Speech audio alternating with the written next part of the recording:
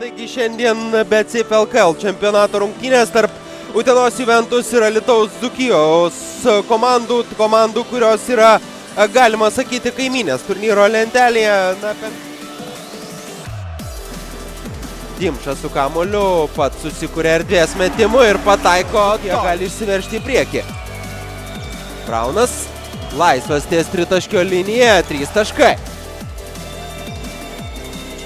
Kendrikas Braunas numeta Sušinskui ir 3 taškai.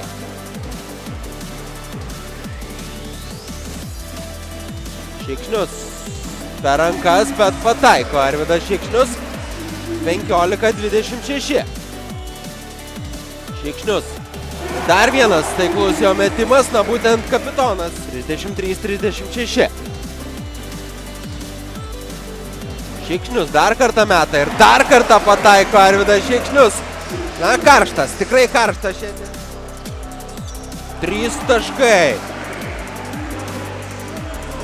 Aleksas Hamiltonas e, pataiko. Hamiltonas laisvas po užtvaros ir atsako tolimu metimu 48-47.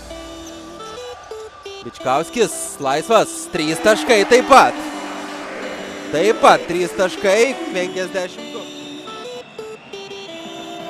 Jomantas labai gražus epizodas, apgavo savo manevrų kelis iš karto varžovų krepšininkus. Guščikas, 2 taškai. Aišku, Braunas taupomas dar svarbesnėms minutėms. Veverly Ostinas šiandien nėra labai rezultatyvus, bet pagirti.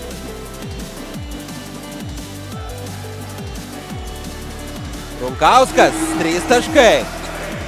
Braukė per pusę dzūkų pranašumą. Vičkauskis su Gebenu. O, koks dėjimas su visom... Runkauskas. Sunkus metimas Čiapukaitis po krepšiu ir du taškai. Prieš Kendriką Brauną liko Vaidas Čiapukaitis šiandien Juventus. Opa, kokia graži. Kokius vėl, vėl šikšnius.